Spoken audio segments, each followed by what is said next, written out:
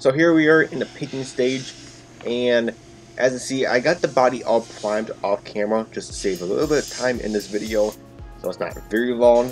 So what I'm doing is I'm actually blowing off the full body, just to get any excess dust and anything that could have fallen onto the body while it was sitting there for a couple days, letting primer gas out.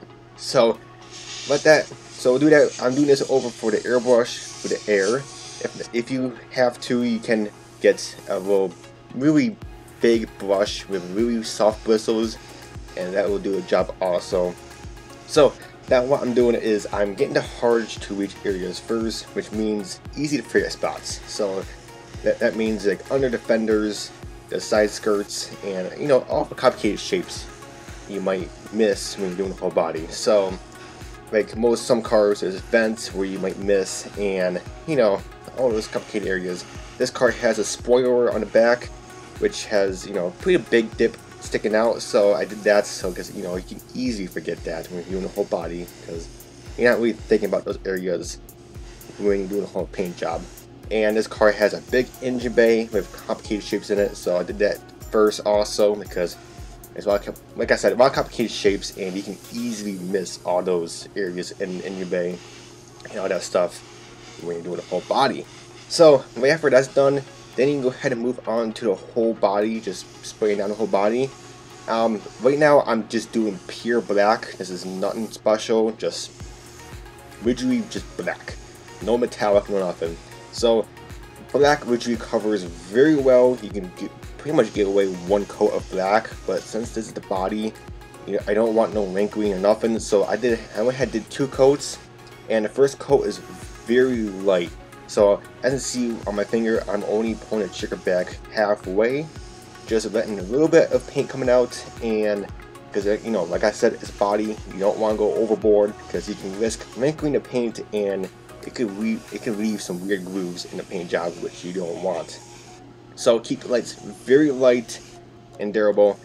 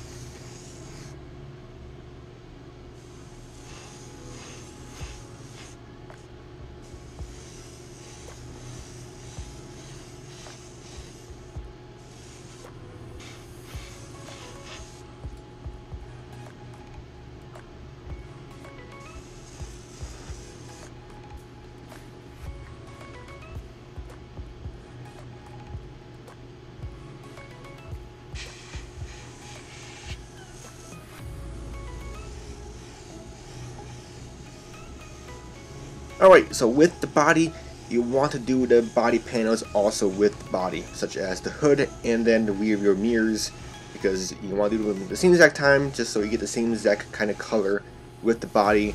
So, right after that, let the body dry for 5 to 10 minutes. I'm going to dry for about 5 minutes because it's black, it dries pretty decently fast.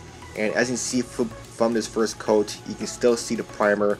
Like I said, very light coats, don't want to go overboard because you can risk wrinkling the paint and you don't want to do that. So about 5 to, five to 10 minute dry time and then you're safe to do, on the second coat.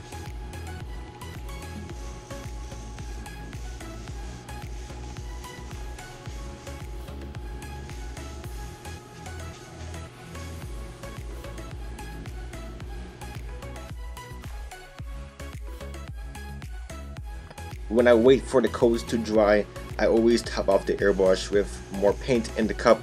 It just saves the paint drying in your cup in your airbrush and it makes it a little bit easier to clean out in the future.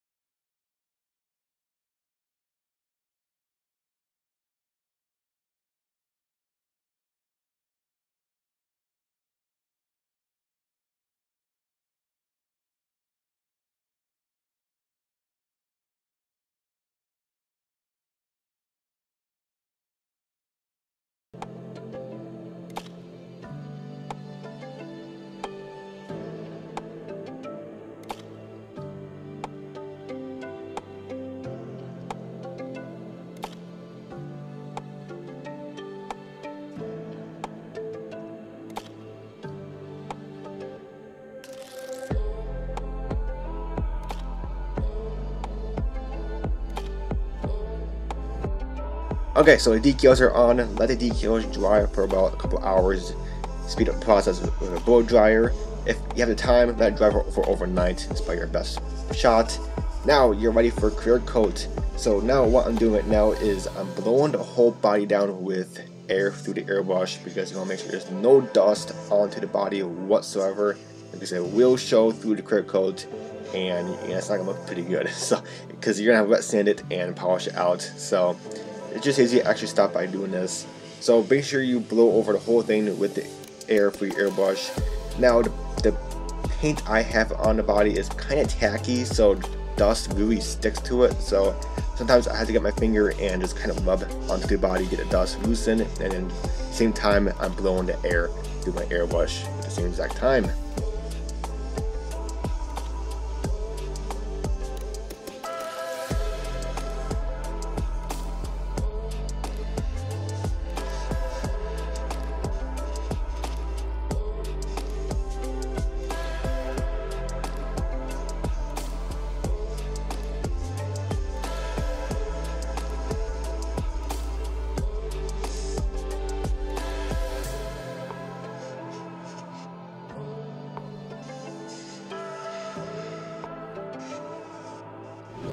Okay, so yeah, your clear coat all mixed up and ready to go. So the first thing I always do is I always mist on the decals. So since this body has a few decals on it, I always put a mist coat on the decals. It gives the decals used to the clear coat and it binds the decals to the body a little more with the clear because the clear coat is like a glue, it sticks to it and it makes it make sure it's secured to the body.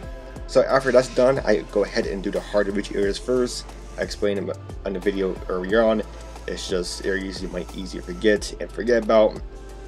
So after that's done, you can go ahead and spray the whole body down with the clear coat.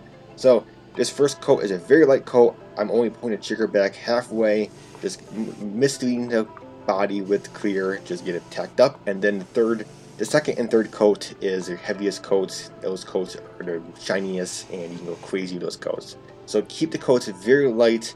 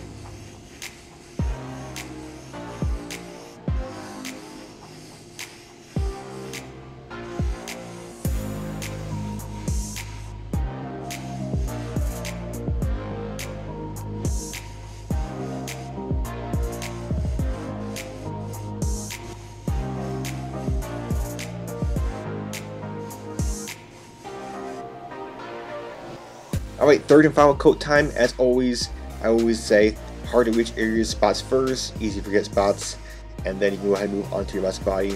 This but this coat you can go as thick as possible, pull your trigger back all the way. Nothing too crazy because you don't want to create runs or anything like that, but you can go crazy, pull your trigger back all the way. And I'm even crazy, you can put in some extra thinner into your clear coat and then you can make it have it flow out of your airbrush a lot smoother and creating a much smoother finish overall.